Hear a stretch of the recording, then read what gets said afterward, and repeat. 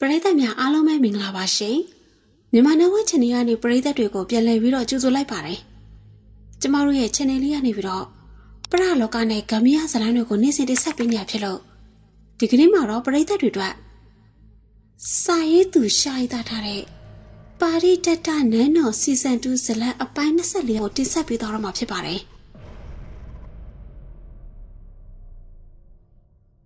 ဟေးယာမီပြားဟာ ခင်မိုးတန်ရဲ့စိတ်ခိုင်းမှုနဲ့တော်လက်ချက်ချပြီးလိမ္မာရေးချရှိလာတဲ့အပြူတော်တယောက်ကိုရှာနေတယ်။အဲ့ဒီအပြူကလည်းသူမရဲ့လူယုံပဲဖြစ်ရမယ်။ဘာကြောင့်လဲဆိုတော့ဒီအပြူတော်ကဘသူမှမဝင်ရဘူးလို့တားမြစ်ထားတဲ့မြေအောက်ထက်မှာအလောက်ကျွေးပြရမဲ့သူဖြစ်နေတယ်။ဟဲယာမီပြားဟာသူမတယောက်တည်းစဉ်းစားတွေးတောနေရင်သူမရဲ့လက်ထောက်အထင်းတော်ကြီးကိုခေါ်ယူလိုက်တယ်။အထင်းတော်ကြီး ကျမဟိုတနေ့ကရှာခိုင်းထားတဲ့စိတ်ချရမယ့်အပြိုတော်ကိုရှာတွေ့ပြီလားဟုတ်ကဲ့ပါမိဗျာကျမအပြိုတော်တယောက်ကိုတွေ့ထားပါတယ်သူကနန်းတော်ရရောက်တာတိတ်မကြသေးဘူးဆိုပေမဲ့မိဗျာကိုချစ်ခင်သူပါမိဗျာအတွက်ဘာမဆိုလုပ်ပေးနိုင်မဲ့သူလို့ထင်ပါတယ်ကောင်းပြီငါသူ့ကိုတွေ့ကြည့်မယ်အခုခေါ်လာခဲ့ဒီလိုနဲ့အထင်းတော်ကြီးပြန်လဲထွက်သွားပြီးခဏချင်းမှပဲသူနဲ့သူပါလာတဲ့သူကမန်းတို့ မန်နူဒီနန်းတော်တွေကိုရောက်ကြတဲ့ဟာဩဇာအာနာကြီးထွားနေတဲ့ဟေယာမီပြားရဲ့လက်ထောက်အထင်းတော်ကိုကပ်ပေါင်းထားပြီးသားဒါကြောင့်မို့လို့လေဟေယာမီပြားရဲ့အထင်းတော်ကသူမဆိုရင်အလုံးမဲ့သဘောကျနှစ်ချိုက်တယ်ရောက်လာပြီလားအထင်းတော်ကြီးဒါဆိုကျမသူမနဲ့နှစ်ယောက်တည်းစကားပြောမယ်ကောင်းပါပြီဒီလိုနဲ့အထင်းတော်ကြီးဟာဟေယာမီပြားနဲ့မနုကိုထားပြီးတော့ရိုးချိုးစွာပြန်လည်ထွက်ခွာသွားခဲ့တယ်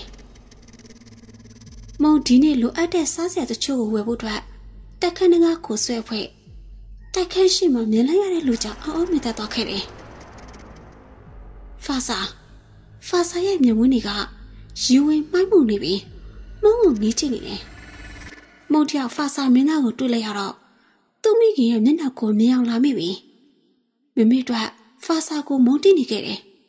။ဖာစာကအရင်လိုအိမ်ထဲပိုက်စုပိုင်နေဝင်မလာတော့ပဲ။ အပေါ့အောင်မှာရင်းနေငါမင်းကမင်းကငါမရနိုင်နဲ့လို့လားရှင်ဘာတွေလာပြောနေရလဲ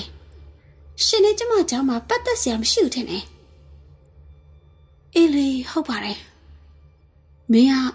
ငါ့ကိုဘယ်တော့မှလက်သက်ခံခဲ့တာမှမဟုတ်တာငါပဲဇူတီကိုပတ်သက်ခဲ့တာကိုဒီမှာကောင်းပါလေငါမင်းကိုဘလို့အကြောင်းမျိုးပဲရှိရှိရအောင်ယူမှာ ရှင်ပြောလို့ပြီးပြီဆိုရင်ပြန်တော့မုံကတော့ဖာစာရဲ့စကားတွေကိုဂရုမစိုက်ပဲသူမရဲ့အခန်းတကားကိုဂျန်ကနေစောင့်ပစ်ပြီးအခန်းထဲပြန်ဝင်လာခဲ့တယ်တကားပေါက်မှာတယောက်တည်းကျင်းခဲ့တဲ့သူဟာဖာစာတယောက်တည်းသူ့လိုတုံရင်မင်းသားတစ်ပါးကိုပြက်ပြက်ခါခါပြုတ်ဝင်တဲ့မင်းကလေးကမှမရမှန်းသိလေပူပြီးပါဆိုင်ခြင်းခဲ့လေမုံရဲ့အခန်းပေါက်မှာတယောက်တည်းကြောင်မွေးရင်းနေတဲ့ဖာစာ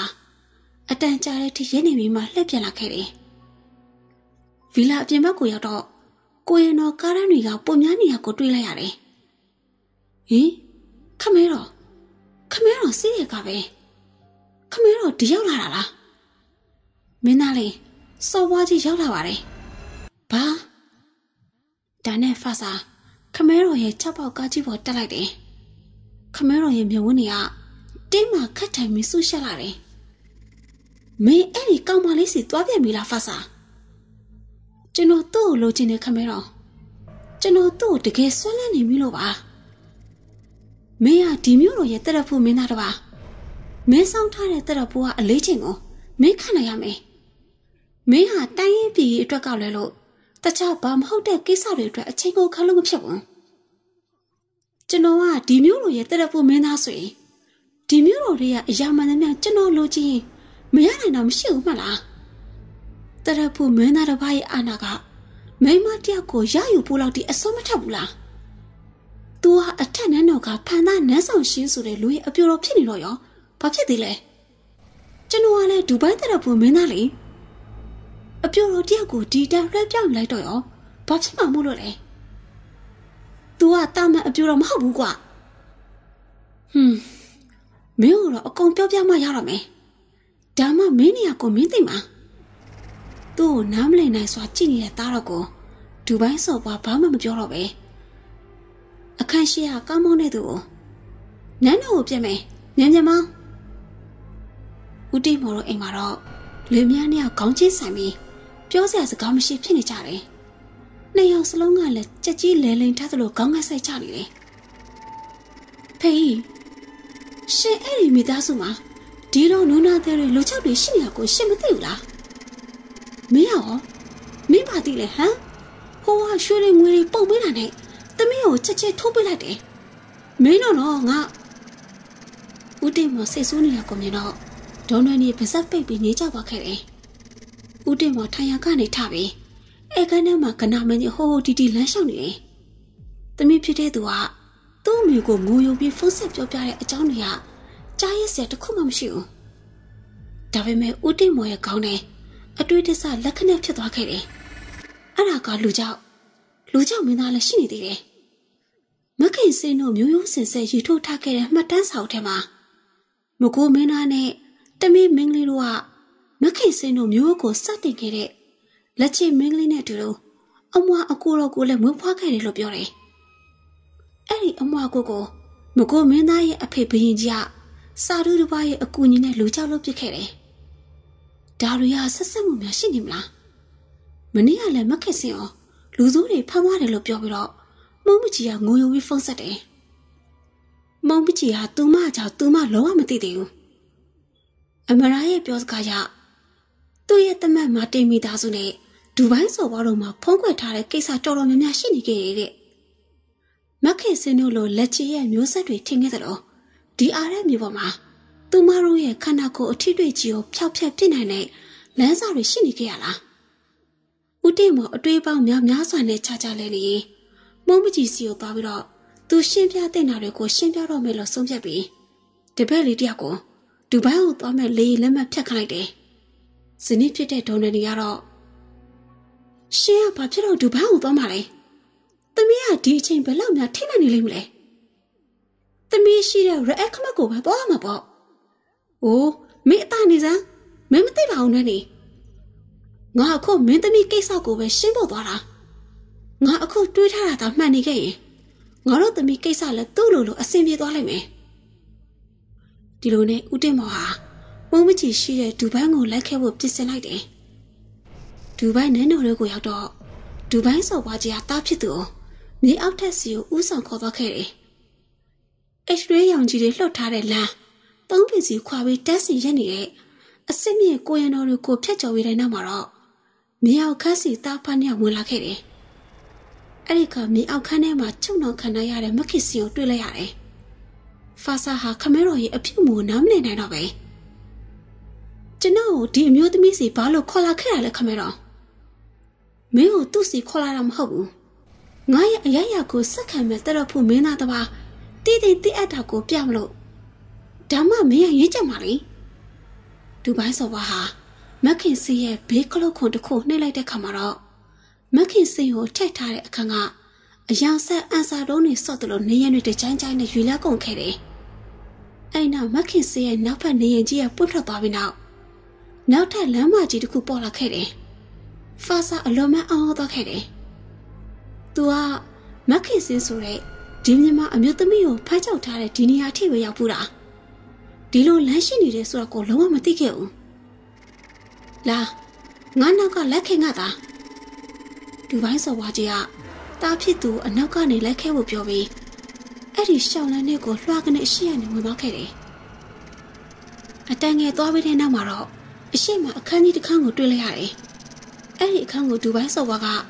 သူ့ရဲ့လက်ပွင့်နဲ့နှိပ်ပြီးဖွင့်လိုက်တဲ့အခါ အခန်းတကာပွင့်သွားပြီးတော့အထဲမှာမြင်လိုက်ရတာကဟင်စာရူတစ်ပါးပါလားစာတူဟာကြောက်သားစင်တစ်ခုမှတက်မလွန်ခွေထိုင်နေခဲ့တယ်။အဲ့ဒီစာတူရဲ့ဘေးနောက်ထပ်ကြောက်သားစင်မှရှိနေတာကလေးထောင်တရံရွှေရောင်တက်တာလေ။အဲ့ဒီတက်တာထဲမှာဖန်သားနန်းဆောင်ရှင်ရဲ့လူကြောက်ခန္ဓာကိုကြုံနေလေးလေးကလဲလျောင်းနေတယ်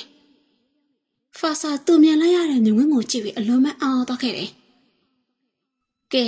တားတော့ဒါပါရီထက်တာဒန်နာရီတွေကစာတူဟာလာနဲ့ဖန်သားနန်းဆောင်ရှင်လို့ခေါ်တဲ့ပါရီတက်တာလူချောက်မင်းသားပဲဗျာဟုတ်တယ်ဖန်သားနန်းဆောင်ရှင်ဆိုတာဖန်သားနန်းဆောင်မှမရှိဘူးငါရဲ့နန်းတော်အောက်ကမြေအောက်ထက်မှာပဲရှိရတာတော့အခုလောက်ဆိုရင်မင်းသဘောပေါက်ပြီလားအရာအလုံးရဲ့အရှိသခင်ကဘယ်သူလဲဆိုတာကိုလေဆယ်သက်စမ်းမကုန်တဲ့စီးစိမ်ချမ်းသာတွေအတွက် ဒီနိုင်ငံရဲ့အမခန်းနဲ့တိုးတက်မှုတွေအတွက်ငါလိုမင်းရရဲရင်ပြတ်သားမှရမယ်ငါသားဘာမဟုတ်တဲ့ကိစ္စတွေအတွက်အချိန်ကုန်မခံနဲ့ဖာစာဟာခမရိုရဲ့စကားကိုနားထောင်ပြီးဘာလို့လို့ဘာကံရမှမသိပါဇက်အဟောင်းသားဖြစ်နေတဲ့အချိန်စာဒူးဟာလာကမျက်လုံးထက်ခနဲ့ပွင့်ပြီးတော့မင်းရောက်လာပြီလားမူဟမ္မဒ်ဟုတ်ကဲ့ဖန်သားနန်းဆောင်ရှင်ကိုနေရာရွှေ့ဖို့ကိစ္စမြန်မြန်လုပ်ပါမူဟမ္မဒ် သူ့ခန္ဓာကိုယ်ကအနက်ထွက်လာပြီကြာကြာထားရင်တည်သွားလိမ့်မယ်လူကြောက်တွေကအယံကုန်လို့တယ်ပြီးတော့ဒီလူကြောက်ကရွှေပေါ်မြတ်တီခန်းခန်းနားနားနဲ့ထားတဲ့လူကြောက်ဟုတ်ကဲ့ကျွန်တော်သူ့ကိုပြုစုပေးမယ်အပြိုတော်ကိုရွေးချယ်နေလို့ပါအများဆုံးဆောင်ရွက်လိုက်ပါမယ်ကောင်းပြီဒီတခါတော့အစင်ရင်ပေါင်းများစွာဖန်တီးပြီးတော့သူထွက်မသွားနိုင်အောင်လုပ်ရမယ်ဟိုတစ်ခေါက်ကလူကြောက်ထွက်သွားလို့ မက်ခေစင်လွတ်သွားတာအဲ့ဒီမိမကဒီလောက်အနေများတာဘာလို့ဒီတိုင်းလွတ်ထားရတာလဲတက်ပြစ်လိုက်လို့မရအောင်လားမဟုတ်ဘူးအဲ့ဒီမိမရဲ့အထီးအတွေ့အစွမ်းတွေကမင်းအတွက်အသုံးဝင်လာလိမ့်မယ်အဲ့ဒီမိမကိုအသုံးပြုပြီးဘယ်လိုစွမ်းအားတွေဖန်တီးရမလဲဆိုတာငါစဉ်းစားနေတာကောင်းပါပြီဒါနဲ့ဒူဘိုင်းစော်ဘွားဟာစာတူးဟာလာလိုအပ်တာတော့ကိုမေးပြီးတော့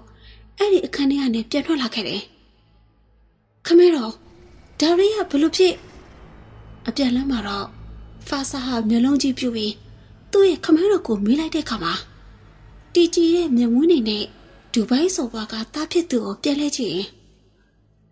အဲ့ဒါငါတို့မိသားစုနဲ့ဒီနိုင်ငံအတွက်ပဲသားတော့ဒီလူချက်ကိုထိမ့်ဖို့နီးလန်းပေါင်းများစွာငါရှာဖွေနေခဲ့တယ်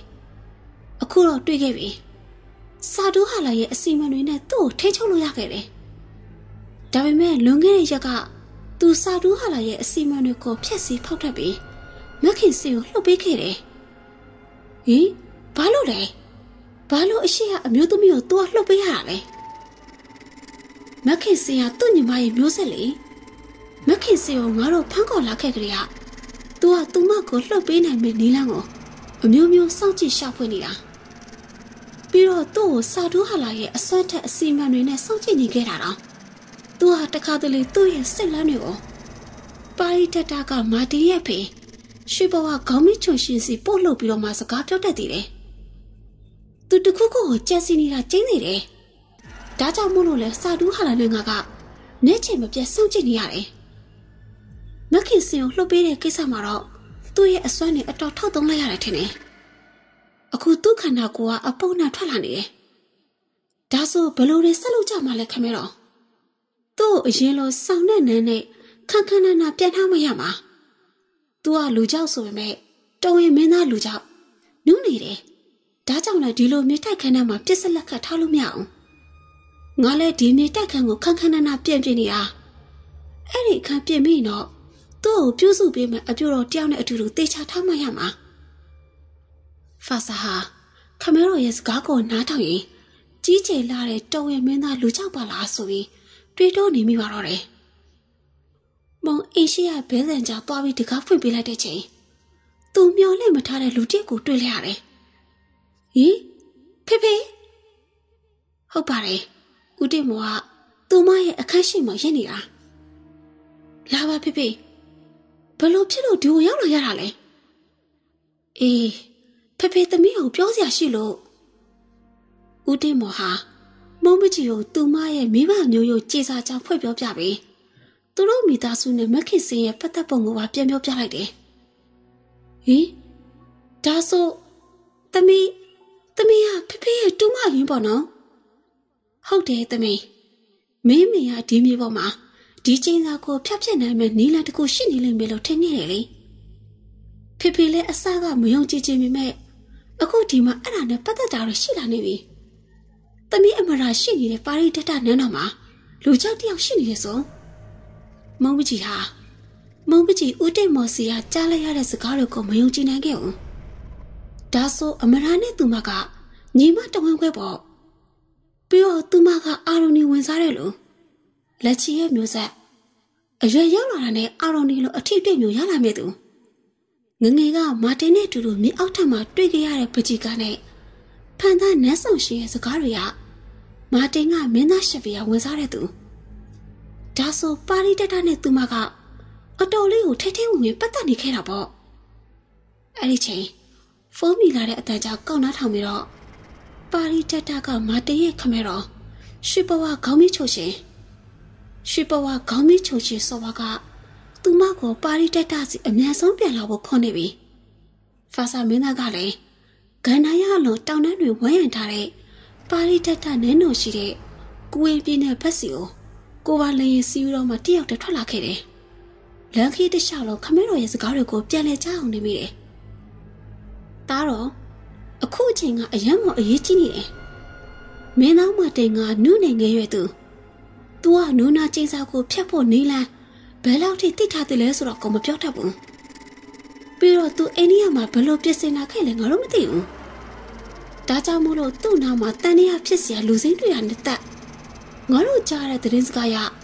သူကဟိမွေနာတောင်ပေါ်ကအစွမ်းထက်လာတဲ့အမျိုးသမီးကလေးခိုင်းစီကိုရောက်သွားခဲ့တယ်လို့ပြောတယ်ဒီအမျိုးသမီးတွေသူ့ကိုအကူအညီပေးလိုက်မှဆိုရတယ်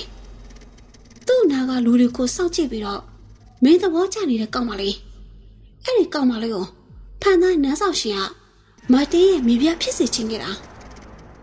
စာတူဟာလာပြောတာကတော့အခုမြေအောက်ထက်ခန်းထဲမှာငါတို့ချုံအောင်ထားတဲ့မက်ခစ်စင်ကအာရုံနေဝင်စားတဲ့မင်းကလေးကိုမွေးဖွားခဲ့တယ်လို့ပြောတယ်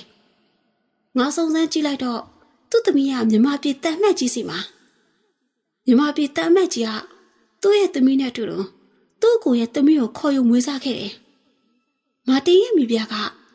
မြမပြည်တန်မဲရဲ့သမီးပဲ။ မြမပြည်တန်မဲရဲ့သမီးနောက်တစ်ယောက်ကမင်းသဘောကျနေတဲ့မှုံးမကြည့်။ဗျာ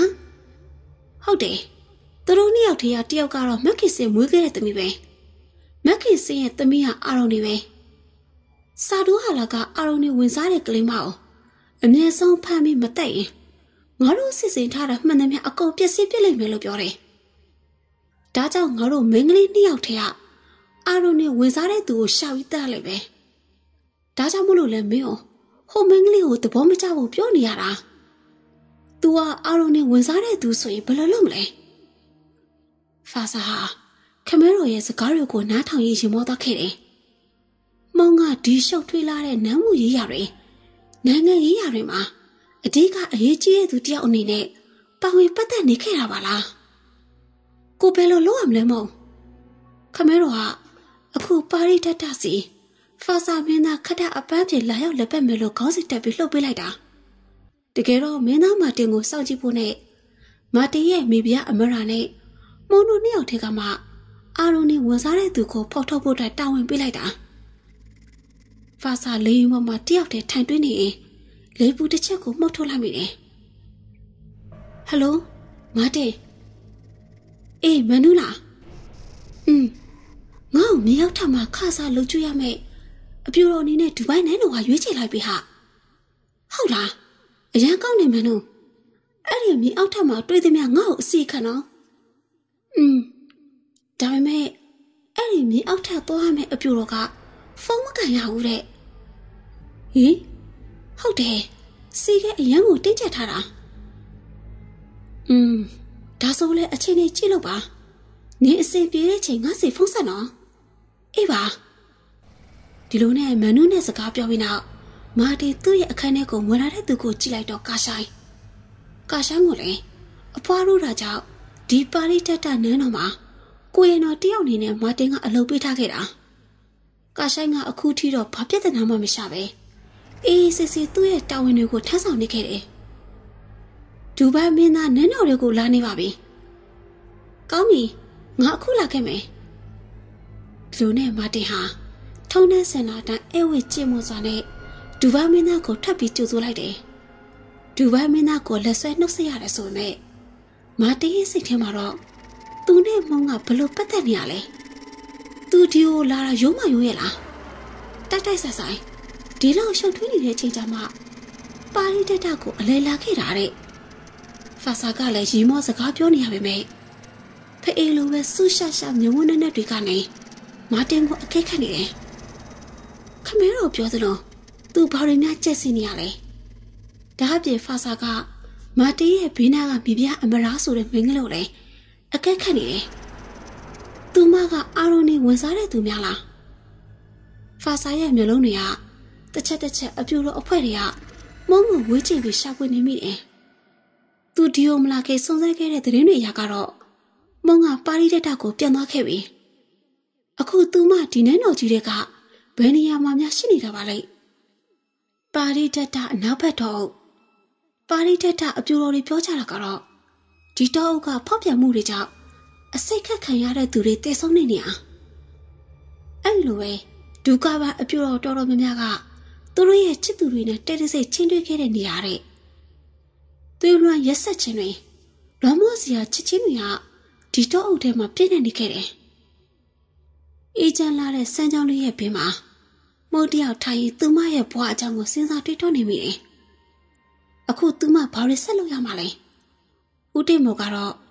အခုသူစုဆောင်းရှာဖွေလို့ရတဲ့မြတွေကိုစွရင်မုံကြောင်ရတဲ့ရော်ချင်းဝင်တွေကိုသူပြက်ဆက်နိုင်ပြီမို့လို့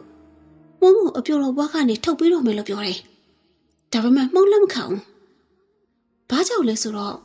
မုံဘွားအကြောင်းမှုံသိသွားခဲ့တဲ့အချိန်မှာမိမိဆန္ဒတိုင်း ဒီအဖြစ်ဆိုးကြီးရနဲ့လွံ့မြောက်နိုင်မဲ့လမ်းစာကိုမုံရှာဖွေခြင်းနဲ့အခုမှုံးလဲမှာမိမိတို့ကနေမတူဘဲနဲ့